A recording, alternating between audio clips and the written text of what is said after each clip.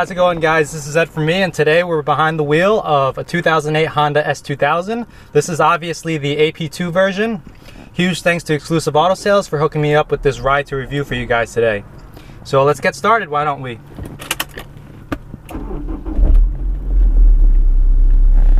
Now, every single one of you watching this video, I pretty much guarantee that you guys know what the Honda S2000 is all about and what it's really capable of. The Honda S2000 is uh, definitely one of the most renowned lightweight two-door sport cars there are out there. And uh, it's definitely not a surprise that the S2000 is going to be a collector's car um, if it's not already considered one today. These cars were built from year 2000 till 2009 and uh, it's really unfortunate that Honda really stopped making these rear-wheel drive two-door sport cars. They really moved away from any of the rear-wheel drive platforms. This particular car here has 112,000 miles. It's a 2008 and whoever owned it before definitely put a lot of miles on it but he or she really drove the car the way it was intended to be. A lot of times you'll find uh, 2008 models with maybe 30 grand on them, and you know that the owners of those particular cars probably just drove them on the weekends. Whoever owned this car definitely drove the car for what it is.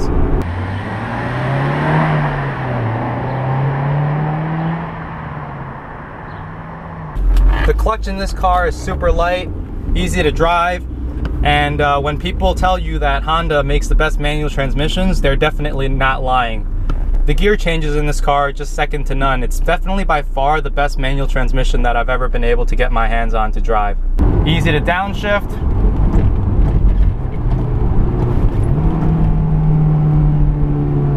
And sounds amazing doing it.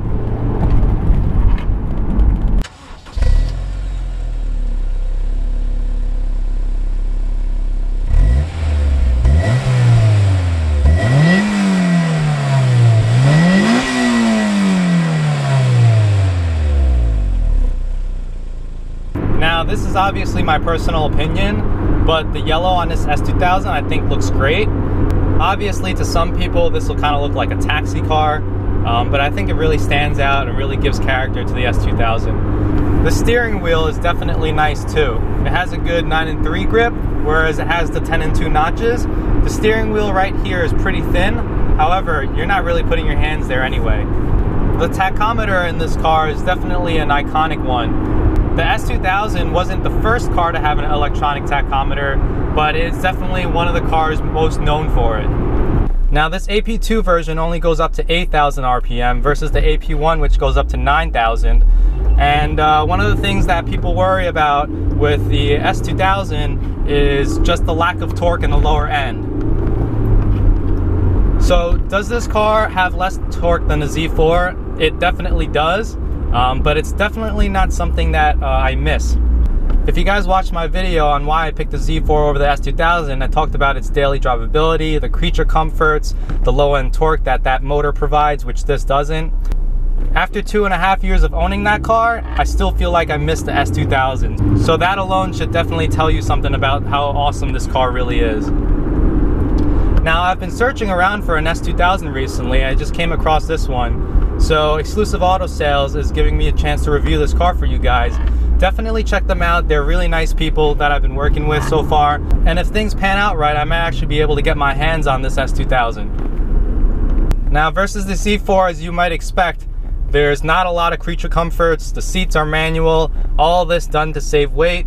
Obviously, this uh, head unit right here is something that Honda S2000 owners don't really care about. They don't really buy this car in order to get a nice radio. In fact, I haven't even turned it on myself.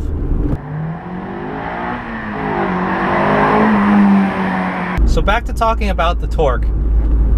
I think I have pretty good analogy that'll help you understand why driving an S2000, even though its low end torque is low, is uh, not actually going to be an issue. So this engine revs up to 8,000 RPM, right? The AP1 revs up to 9,000 RPM. The torque numbers in the AP2 have gone up. The horsepower numbers have stayed the same at 240 horse. However, if you were riding a motorcycle that has 13,000 RPM redline, are you really going to be worried about it not having torque when you're down at say 2 or 3,000 RPM? that's kind of how I feel about this S2000. It doesn't have the low end torque. However, it's just so fun to rev high and to drive the car the way it's supposed to be driven that you don't really mind. And here, see, I'm keeping the RPM down in the twos and threes, and yet it's still enough to get around town. This is definitely something that the AP2 uh, does better than the AP1. On the AP1, you have to rev it out even more, but still, it's not really an issue the more you think about it.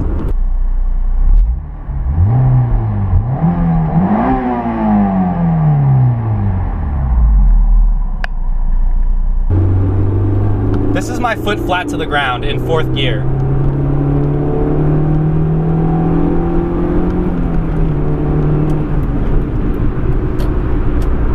As you can see, this car is definitely not the fastest car on the road, but I can say that it's probably one of the most fun cars that you can drive. So cruising down the highway now at around 55 miles per hour, the engine's already turning 3,000 RPM.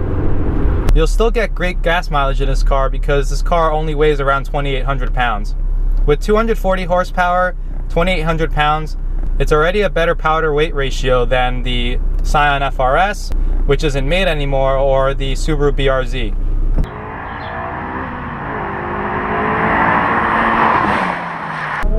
All right, let's see what this car is capable of. First gear, foot down.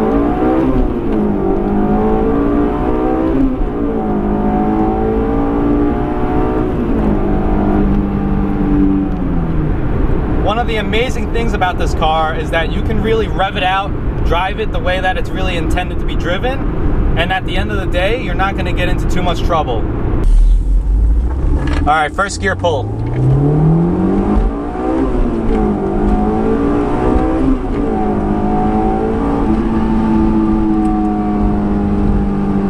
Just listen to that exhaust note, it's awesome. One of the things that people really worry about with this car is that it has a short wheelbase. And because it's rear wheel drive, because it's so lightweight, it, you can actually get into a lot of trouble with it. However, if you're just driving down the road like a normal person, enjoying the car for what it is, cruising down the road, there's definitely not much that can get better than this. Now, one of the things in this car that you might expect or you might not expect is just the amount of road noise that you get here. So traveling down the road at 70 miles per hour, Definitely more comfortable in a Z4. Again, you're not really buying this car for creature comforts. I don't know how well the camera is going to pick up on the road noise here, but it's definitely significant. And if you're talking about long cruises on the highway, it might actually annoy some of you. For those of you who are buying this car, however, for those back roads, for those casual cruises with the top down, you're obviously not going to mind about this wind noise.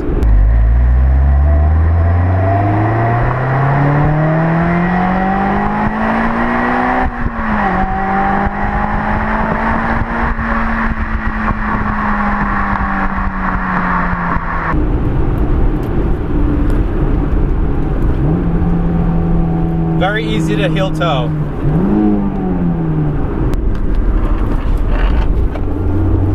Around this turn right here, the Honda S2000 has no trouble keeping its foot on the ground.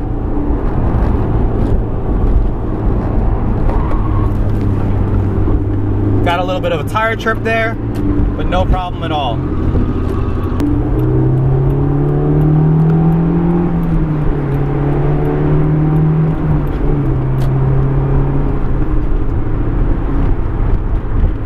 When you're considering this car, the things that you're worried about isn't necessarily being the fastest car on the road, but you definitely want to be one of the best handling cars on the road. And without a doubt, for the price that you can get an S2000 for nowadays, nothing else really is going to compare to the handling of this car.